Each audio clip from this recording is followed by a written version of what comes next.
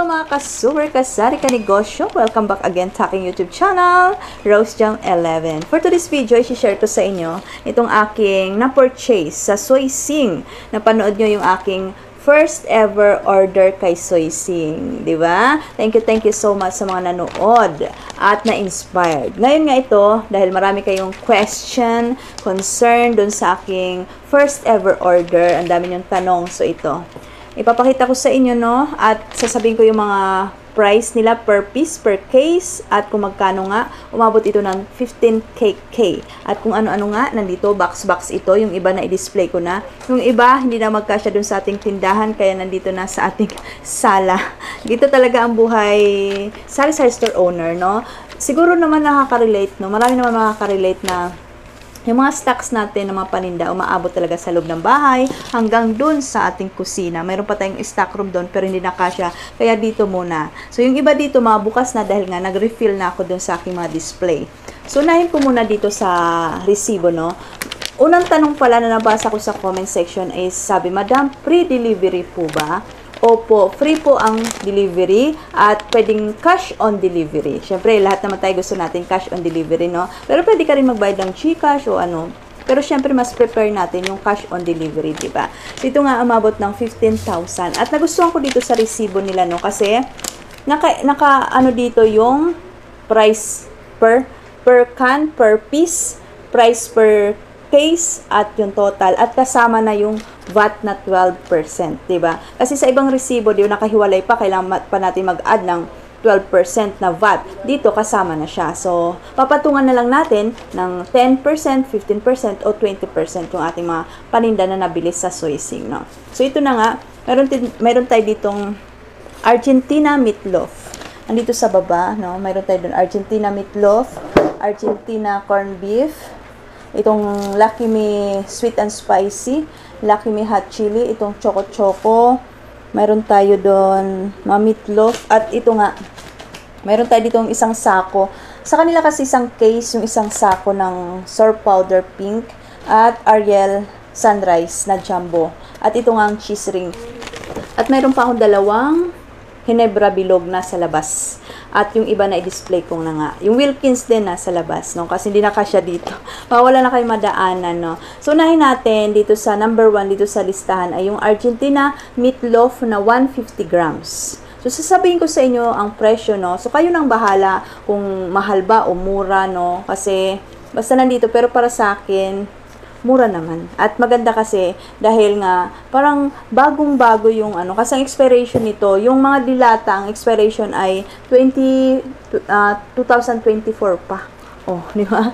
Yung yung Pansit Canton sa 2022, yung iba 2022, ayan mga dilata. Matagal naman ang expiration ng mga dilata, di po ba? Ngayon, yung per piece ng Argentina meatloaf, 150 grams ay 18 pesos. Ang isang case ay 864. So, ano lang din ito, no? Ta-times mo lang siya kasi sa isang case ay 48. So, bale, 18 times 48, 864. Ganon din siya. Pag per piece, tapos din, eh, din, mo siya sa 48 pieces, ganon din yung lalabas. Sa next tayo. Sa Argentina corned beef naman na 150 grams ay 31.36. Sa isang case ay 1.5. Ang laman ng isang case ay 48. Sa mga dilata, mga 48 ang laman, no? Medyo nahirapan ako magsalita ngayon mga ka-super kasi masakit yung ipin ko. Kakapasta ko lang? Ayan na nga. Tapos yung Argentina corned beef na 260 ay 51.22. So, ito times nyo lang sa 48, ganun din ang lalabas. 2,450. Tingnan nga natin. 51.22 times 48 2,450. Ganun pa rin. So, per box, hindi siya ibig sabihin na mali, makakales kapag per box. So, kung ilan yung per piece, ita times mo, ganun din yung lalabas, no? Ayan na nga. At, next tayo, yung mga zest o big nila, yung orange at saka apple ay 7.76 isa, 77.60 ang 10, yung isang box. Yung ma- mango, ang mahal na mango, no? Ang mango kasi 8.25 yung isa, 82.50. Pero sa akin, dito sa Rose Jam Store, lahat ng mga Ses o Plus ay 10 ang aking benta talaga kasi para hindi na malito-lito. Pero sa, sa iba alam ko 11 pag mango sa kanila. So, ako siname ko na lang. Yung Ginebra San Miguel round ay 51.24. Uh, isang case ay 1,229.70. Yung Lucky Me noodles, yung Lucky Me noodles ko na, display ko na pala, na-display ko na. Ang isang piraso ay 7.74. Ang isang case ay 557.35. Ang Lucky Me Pansit Canton, kung kahit anong flavor, same price lang, 11.78 ang isang peraso. Ang isang box ay 848.10. Ang Choco Choco stick refill, na bumili na ako ng isang case, yung 50 kasi sa grocery kasi, ang Choco Choco, halos wala kang tubo. So, dito, ang Choco Choco, sa 50 pieces, ay 43.75 lang. So, mayroon pa rin tayong tubo na halos 6.25, no? Kasi, ang, uh, ang iba niyan, ang Choco Choco, 4-5 na eh. So, dito, mabib mabibenta pa natin ng piso. Sa cheese ring dito, sa cheese ring na to, ang isa nito ay 13.77. Ang benta ko naman nito ay 18 pesos, itong cheese ring na to. Kasi lahat nandito, lahat ng in-order ko sa Soysing, talaga mga fast moving talaga yung in-order ko sa kanila. At thankful din ako dahil lahat ng in-order ko is dumating din sa akin. Yun din yung kagandahan kay Soysing, no? So, ano pa ba? Surf. So, itong surf naman, sa isang sako, ang laman ng surf ay 288 piraso. Pero sa isang tie ay animan, no? So, ang isa ay 4.83. So, sa isang case nito, umabot ng 1,391.20. Yung sorb. Wait ako sa inyo. Ito, no? So, nagustuhan ko pa dito kasi, minsan kasi, di ba, minsan nakakabili tayo nito, yung parang, ang daming powder sa labas, no? Yung ma-powder. So, ito talagang bagong-bago talaga siya. At hindi siya yung bukol-bukol talaga.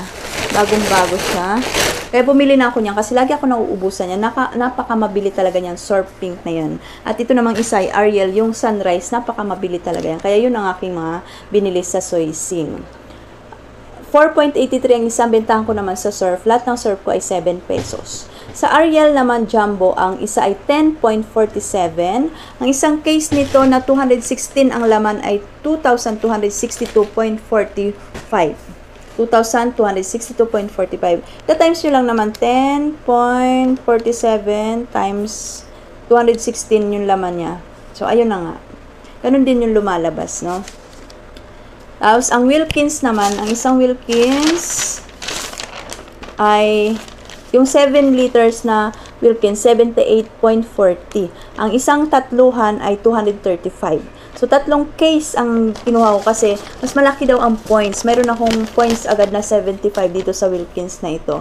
Ayun na nga. At ang total ko nga ay umabot ng 15,244 ang aking first ever order kay Soysing. At hindi pa doon nagtatapos no dahil mayroon pang pa-free si Soysing.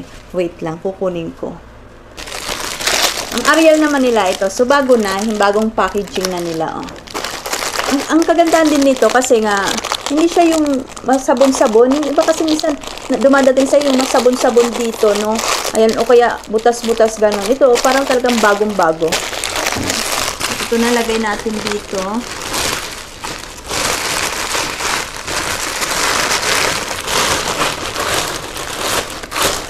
Talaga naman, no? Abot na hanggang dito sa sala talaga yung ating mga paninda. Nakakaloka talaga. Hakot pa more, bili pa more. At ito na nga, mga ka-super, yung pa-free. Previous ni Soysing. Meron akong dalawang eco bag dito. Ang laman nito, ito ay dahil daw suki day kay Soysing ngayon. Ang dami din ha. Oh, mayroong breeze. Mayroong breeze powder, may breeze liquid, may surf tatluhan, may nor chicken cubes, mayroong dalawang suncell. So, dito, ganun din. ganun din, ah. Ang dami kong freebies na. Ang saya-saya lang. So, syempre, ito, pwede na to pang gamit natin sa ating bahay. Dito pang personal na. Ito mga free na to. No, nakalibre na tayo ng ating mga gagamitin dito sa loob ng bahay. At meron pa tayong uh, EcoBag na, na Unilever. Siguro si Unilever, tong product na to ay kay Unilever. Uh, pa, pa-free ni Unilever. At ayun na nga. Ano pa ba yung mga tanong nyo sa comment section? May nagtatanong, Madam, meron bang ano, minimum order? So, hindi ako sure sa minimum order po, no? Kasi depende daw sa lugar. Nung nagtanong ako dun sa aking agent, no? Tinanong ako sa lugar. Sabi ko, Cavite ako. Pero hindi naman ako ni-reply. Hindi, hindi sinabi sa akin magkano. Basta, nag-order ako. Ang unang order ko kasi ay 10,000. So, nag-additional lang ako ng 5,000 ulit para umabot ng 15K. Kasi marami pa akong mga kulang-kulang pa sana na ano, hinabol ko. Kaya umabot ng 15K. So, wala namang sinabi sa akin na dapat kailangan ganito yung orderin mo para uh, ma-deliver sa'yo. Basta, nag-order lang ako. May nabasa din ako sa comment section kung paano mag-order. So, ako, nag-order lang ako through sa kanilang Facebook FB page oh, Facebook kasi sinearch ko yung Soy Sing Official. So, search na rin sa inyong Facebook nyo, Soy Sing Official, lalabas agad yon Tapos, nakalike na pala ako doon, matagal na. Kasi matagal ko na talaga gusto mag-order kay Soy Sing. Nung time lang na may plano na ako magkaroon ng expansion sa Rosian Store, plano ko na talaga mag-order. Hindi ko lang talaga mabigyan ng time. Kasi nga, syempre, kailangan mo pa kasing mag-search, mag-ganyan, mag-kontakin yung agent. Eh, wala namang agent yung pupunta sa akin. Pero, ngayon kasi, pwede ka na mag-order kay Soysing anytime, anywhere. So, ang gagawin mo lang, i-search mo lang sa FB o kaya sa website. Sa YouTube, meron din silang Soysing Official. Pwede rin kayo dun manood ng mga tutorial nila. Meron din silang mga tutorial kung how to order, kung ano-ano pa. Meron nga sila dun mga na-feature na mga talagang success story ng kasoy Soy Sing, ganun. So, ako naman, sinearch ko lang sa aking Facebook, Soy Sing, tapos nakalike na pala ako doon. So, nag-send lang ako ng message. Siyempre, pag nag-send ka, may auto, ano naman, kung anong gagawin mo, how to order, product, ganun. Eh, sinend ko lang yung how to order. Tapos, inuha yung information ko, yung pangalan ng store ko, contact number ko. Tapos, yung tumawag nga sila. Ang ano daw yung orderin ko. Tapos, may binigay silang link para makita mo yung mga product nila. At ayun na nga, yung agent na yun, yun din yung parang account officer na nag-entertain sa akin sa aking mga order, nag-send din ako sa kanya, bali, doon na sa messenger, doon sa kanilang FB page. Ayun, nakapag-order na nga ako ng first ever order ko sa Soysing at dumating na nga. So, yun na lang yung gagawin nyo, no, mga ka-super. No, search nyo na lang at kausapin nyo yung agent na makakausap nyo dun sa inyong sa messenger nyo. Kasi depende kasi sa location eh. Uh, dito sa Cavite, parang wala silang ano kasi ang itong mga product nito ay galing sa Binondo. Yun talagang pinaka main office, main branch ng Soysing. Pero dito sa Cavite, wala silang branch dito sa Cavite. Pero, ang lapit lang naman ng Binondo. Ano nga eh, sandali lang naman. Halimbawa, kahapon ako nag-order, kinabukasan agad na deliver agad nila. So, ang bilis lang. At ang kagandahan pa, ang pinaka nagustuhan ko talaga is kompleto yung in-order ko sa kanila. Kasi minsan, di ba, meron tayong uh, na-order natin tapos pagdating, bakit wala yung order kong ganito? At before pa nila i-send yun, isi-send na sa'yo, mayroon ng order summary, si agent na i-send sa messenger mo para makita mo doon kung ano yung mga available na product nila at kung magkano at kung kailan ang expiration date. Makikita mo na doon sa order summary mo. Kasi ito, iba pa kasi yung order summary, ito kasi yung pinaka-resibo na to, sales invoice na to. Pero pag nag-order ka pa lang, nag-uusap pa lang kayo ni agent sa messenger, isi-send niya na sa'yo kung available ba yung mga product na na-order mo at sisend na sa'yo kung magkano at kung kailan yung expiration. O, ba? Ang galing. So, yun na nga. Hanggang dito na lang muna yung aking share. Sana wala na akong nakalimutan sa inyong mga tanong. So, sabi, kung kahit saan, pwede mag-order. Sabi nga, anytime, anywhere, pwede ka mag-order kay Swising. Basta sundan mo na lang yung kanilang step by step. Kasi meron din mga step by step kasi, di ba? So, tsaga-tsaga lang. At saka, maganda talaga si Swising. Dati ko pa to naririnig to si Swising eh.